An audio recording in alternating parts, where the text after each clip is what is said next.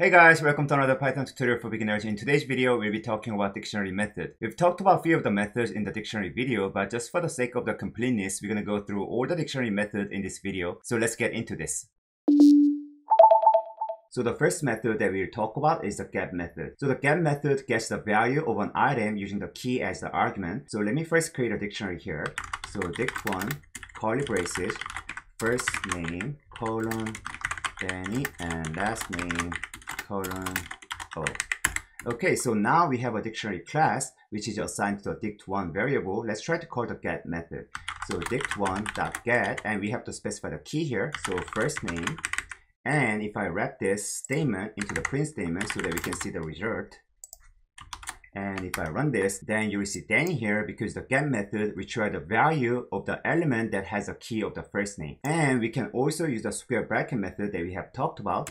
So we can do print dict1 square bracket first name and run it one more time, then you will see the identical result as well. So the nice thing about the get method is that you can specify the default value. So if I just comment this, and let's say that I'm trying to search for a key that does not exist in the dict1 that we have, so for example, if I put the nickname here and then just try to run it one more time, then you will see none here. So instead of throwing a key error, the get method returns none if the key that you are trying to search for does not exist in the dict1. So in here, we can actually specify the default value. So I can just say this is the default value. And then if I run this one more time, then you will see that this is the default value printed out because the key nickname did not exist in the dict1 and so the Python just threw this uh, default value as the result of this get method. So now then let's try to compare the square bracket method versus the get method. So both of them does the same thing meaning it retrieves the value using the key but the main difference here is that the get method returns the default value when the key does not exist but if you use the square bracket method it will return the key error complaining that the key does not exist. So let me show you an example here here. So I can just uncomment this one more time and just copy the nickname here. So the nickname does not exist in the dict1. So let's see what happens if I run this. So as you can see, you see that this is the default value coming out from this print statement. And you see the key error nickname coming out from this uh, second print statement that we have because the key nickname does not exist in the dict1. Okay, so then let's move on to the next method, which is the key method. So as the name already says it, it returns the, all the keys that exist in the dictionary. So this method does not take any argument. So if I just call print dict1 dot keys, and then parentheses and wrapping parentheses here, and if I just comment this, and just run this one more time, then you will see all the keys first and last name in the list format uh, that exists in the dict1 encapsulated by the view object uh, provided by the dictionary class. And we can do the same thing for the values. So I can do print dict1.values parenthesis and if I just run this one more time, then you will see all the values, Danny and O. So Danny and O here are in the list format encapsulated by the view object saying dict values. Okay, so that was pretty quick. So then now let's move on to the from keys method. So this method creates a new dictionary given a sequence of items. So let me first create a sequence of item here. So I can just say keys, curly braces, A, B, and C. So I have a set data type with just a three element A, B, and C. Please note that this is not a dictionary data type because it doesn't have the key and value format. So what we want to do here is to use these three elements as a key to create a new dictionary. So I can do print dict from keys and then put the keys as the argument. And as you notice here, I'm not calling this from keys method from the keys that we have, but instead I'm calling from the built-in dictionary class. And the reason why we are doing this is because the from keys is the method that binds to a dictionary class. And the keys that we have here is not a dictionary data type, but instead it is a set data type. So in this case, we want to trigger this method from keys from the dictionary class and then put the keys as the argument for this method. So that's why we are referring to Python's built-in dictionary class dict here. And so if I run this, you will see A, B, C as the keys for three different elements as we specified here. And then the values are all set to none because we haven't specified the value just yet. So let's also specify the values here. So I can do values and set it equal to alphabet since uh, ABC is all alphabet. And once you create the values here, you can pass the values as the second argument in the from keys method. So like that. And if I run this one more time, then you will see A, B, C all having the same value alphabet as we specified here. So now then let's try to set the values to be a mutable object like a list. So I'm gonna replace this string with a list and set it 1, 2, 3. And if I run this one more time, then you will see a new list with the A, B, C as the keys and 1, 2, 3 in the list as the values for the order elements. So one thing to keep in mind about putting the mutable object as the values is that if you add a new element into this list, then the changes will be reflected in this uh, from keys method. So let me show you an example here. So let's say that I'm adding a new element. So values append 4 and then let me just append this after this print statement. And then if I just print this out one more time right below words and then just run it then you can see the first print statement containing only 1 2 3 as the value in the list while the second print statement contains 1 2 3 4 as the value because we just added a new element into this list object. And since we are using the same object values to pass it to the argument in the from keys method that's why the change is being reflected as you can see here Okay, so moving on to the next method, we're going to talk about the items method. So this method lists out all the keys and value pairs that we have in this dictionary. And you'll be using this method commonly when looping through the dictionaries, which we will talk more about it once we get to talk about the loops. So we have the dict1 here, and let's call the items method. So we can do print dict1.items parenthesis and if I just run this then you will see all items encapsulated within this uh, dict items view object and you will see them in a tuple format where key is specified as the first index and value is specified as the second index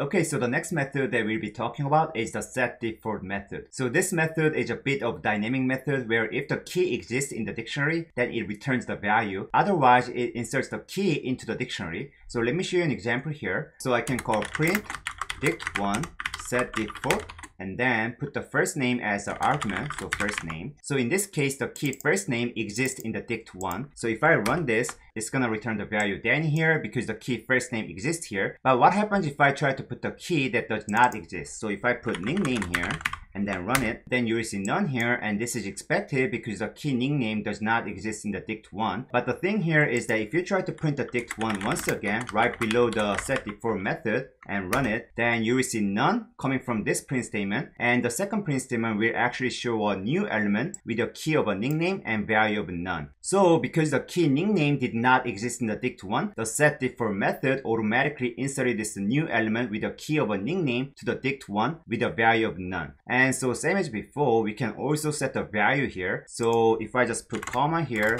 and then the nickname is Dan. And if I run this one more time, then you will see a first name, last name, nickname with a value of Dan. Okay, so now let's talk about the copy method. So the copy method returns a shallow copy of the dictionary. But before I get into talk about the copy method, let me briefly show you what happens if I try to create a new variable and try to assign this existing dict1 variable to a new variable. So let's say that I have a new dict1 and set that equal to a dict1 and if I try to print new dict1 as well as the dict1 here and run it, then you will see two exactly same elements coming out, dict1 and new dict1 because we set the new dict1 equal to the dict1. And now if I try to call the clear method on one of the variable, so for example, if I call print new dict1.clear and if I print the result one more time, let's see what happens.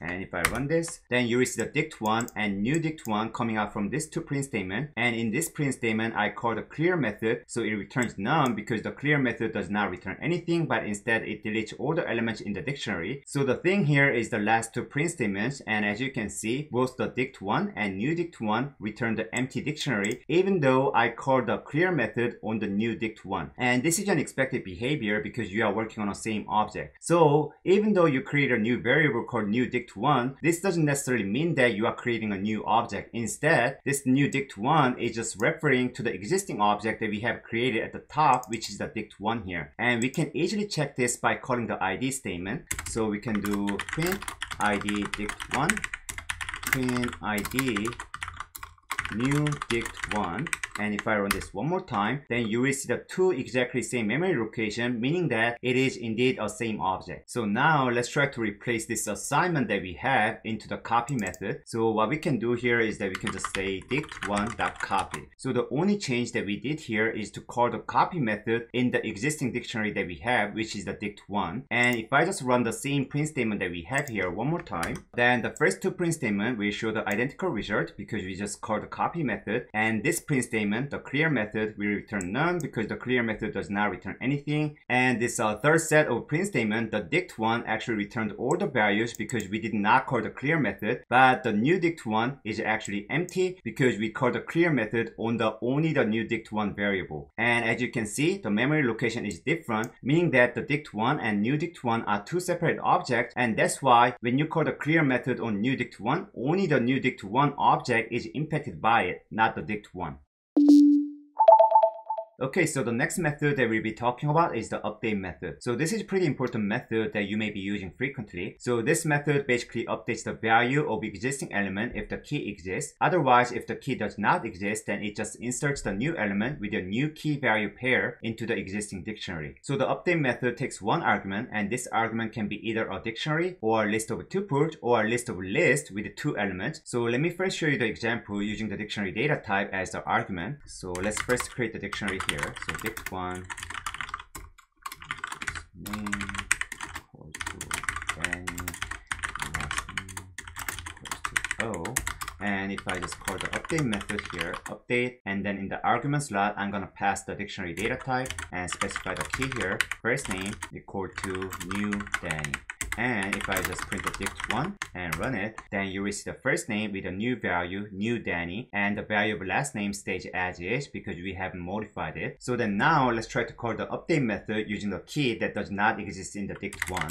So I can do dict1.update, curly braces, nickname, and then I say Dan. And if I print the dict1 one more time, and run it. Then you will see the first name new Danny and nickname as Dan. So we have a new element in the second print statement here. And this update method functions exactly same as the square bracket method that we have talked about in the previous video. So let me show you that example real quick. So I can just do a dict1 square bracket, oops, and then specify the key, first name, and then set that equal to new Danny and then dict1 the square bracket nickname which is a key that does not exist here. And I can say Dan here. And if I just print the dict1 one more time and run it. Then you see the first name with a new Danny and nickname with a Dan. So this element was just added into the existing dictionary that we have which is the dict1 and now let's try to use the list of tuples as our argument for the update method. So I'm gonna first comment this out and then let me just uncomment this and then delete the second line. And in here instead of passing the dictionary data type I'm gonna pass the list of tuples and then the first index of the tuple will always have the key. So I'm gonna specify the first name here comma. Uh, don't forget to put the comma here because this is a tuple. So the first index will be the key and then the second index will be the value. So the value is new Danny. And then for the second tuple I'm gonna say nickname comma. And then nickname is Dan. So if I just print this one more time, then you will see first name as new Danny, so it was changed by this statement here. And then we have a one new element nickname with the Dan. So then now let's try to use the list of lists which contains two elements as the argument for the update method. So first I'm gonna comment this out and then let me write the new statement here. So dict1 update parenthesis list and another list here. So this nested list only should contain two elements and then the first index will serve as a key just like the tuple and then the second index will serve as a value. So let me specify that here. So first name, comma, and new Danny and another list here. And then in here we can say nickname, comma, Dan. So if I print the dict1 one more time, then you should be able to see identical result. So first name has a new Danny and you have a one new element nickname equal to Dan here. And there's actually one more way that I forgot to mention. So that one we can just use a key value pair so what we can do here is dict1.update and then in here you just specify the key directly so I can just say first name equal to new Danny and then nickname equal to uh, Dan and if I just print dict1 and just run it then you will see the exactly same result new Danny with a new element here Okay, so we are getting close to the end here. So we only have a three methods left, which we've already talked about in the previous video. So the first method that we're going to talk about is the clear method. And as the name says it, it clears out all the elements in the dictionary. So let me show you that example here. So dict1.clear.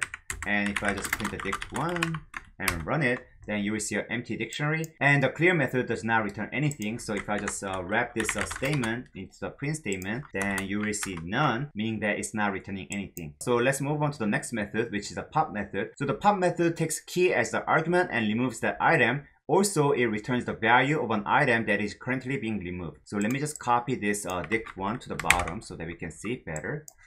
Comment this and put it here.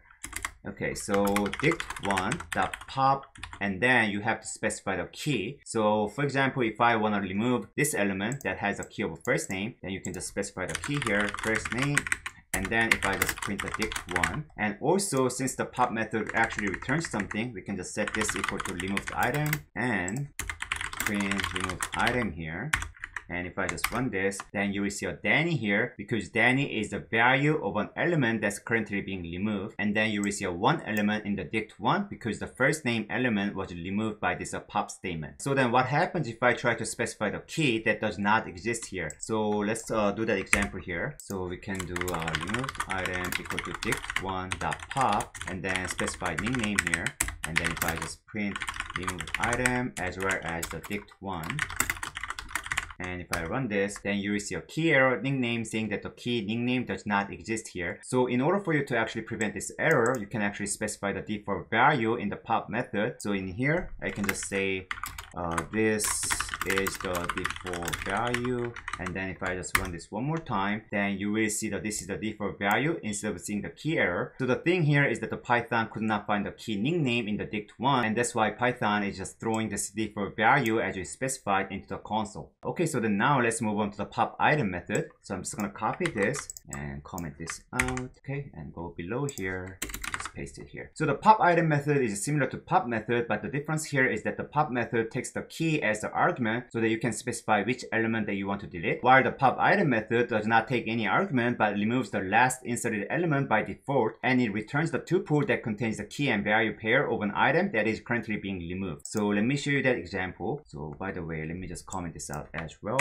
So in here, we can just say dict1 the pop item and just call that and then print dict1 and if I run this then you receive one element with the first name Danny and then the last name element was removed because it was the last item. And we can also try to see which item is currently being removed. So we can just do removed item equal to the dict1 pop item and then just print removed item. And if I just run this one more time then you will see our last name O in a tuple format. So the first index is always the key that's currently being removed and then the second index is the value that's being removed. And just for your information if you are not seeing the expected result from the pop item like I'm showing you here. Please check your Python version because prior to Python 3.7 pop item was used to remove the arbitrary element from a dictionary so the behavior will be different if you are using the version prior to Python 3.7 Okay guys, that's it for this video. I hope that this video was helpful. We have talked about most of the important data types except set. So we'll talk about the set and its method for next two videos. So please stay tuned. And if you have any questions, please comment down below. And if you haven't yet subscribed to my channel, please click the subscribe and like button. Thank you so much for watching and hope to see you in next video.